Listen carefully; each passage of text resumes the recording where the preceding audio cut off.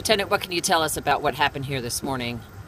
This morning around 8:52 a.m., uh, there was a shooting incident at the corner of, near the corner of Capitol Avenue and Chatham Street.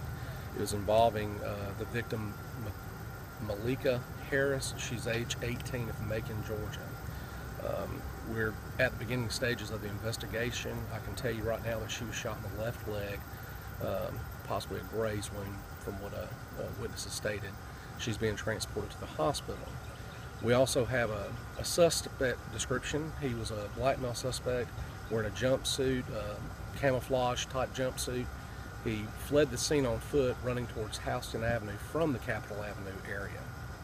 Now, it looks like there are evidence markers in the street. Was this a rolling shooting? Was this involving vehicles? Well, again, we're still in the middle of the, of the investigation or the beginning stages of the investigation. I'll release more once it, uh, we're updated.